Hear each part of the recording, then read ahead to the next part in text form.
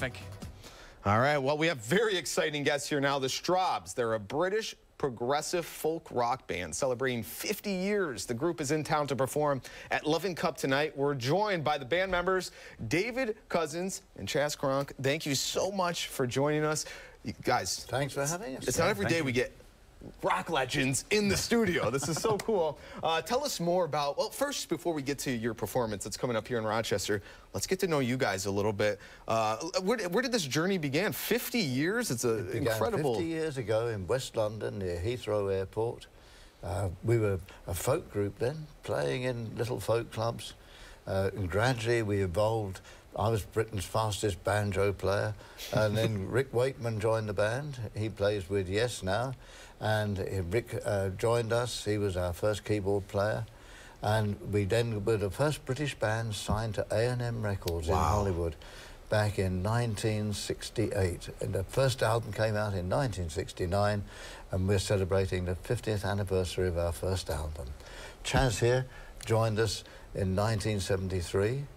So we have, we've known one another for a long, Yeah. long time. Absolutely incredible. Do you guys, you know, when you, when you get to a number like 50, 50th anniversary, does it really have you just kind of look back on your career and say, I cannot believe from where we started to where we've come. Uh, what's it like taking that like kind of just retrospective look at your career? I find it difficult to believe that we've actually uh, played for this long. It's extraordinary.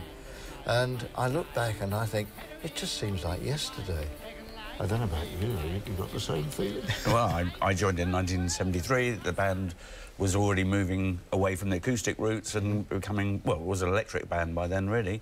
And I guess with the kind of progressive things that were happening in the 70s, we embraced all that sound. We're using Mellotrons and Moog synthesizers before a lot of people were. And uh, I can remember coming over and people like Carlos Santana we're touring with going, what is that instrument? You know? And so, you know, the great Carlos Santana was fascinated by the Strawbs sound that we were making at the time. That is so cool because you guys really, you said it right there. You've covered uh, just a, a wide spectrum of music as it evolved. Um, and you guys uh, had the ability to sort of evolve with it, even stay sort of ahead of the curve, like you mentioned there with some ideas. Um, but have you seen, uh, in your eyes, what's it been like living through it as you see these uh, years go by and this different sort of sounds emerge or disappear or come back? What's that all been like? Well, we, we never set out to be anything. Uh, we, never, we started, as I said, playing in folk clubs.